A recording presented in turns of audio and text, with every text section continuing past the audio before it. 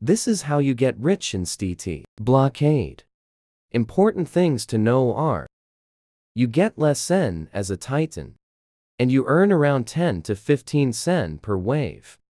With these strategies, you can earn Cen easily. First strategy is grinding early waves. For this, just get a private server or get in a bad server. You can earn 2000 Cen a day from this. Just from grinding 1 to 2 hours.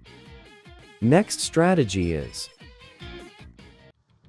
Tiny Task or any other macro. They are easy to use and download, but they can't be used on mobile.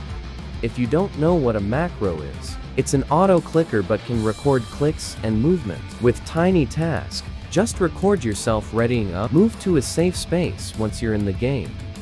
Just set that to repeat on a loop.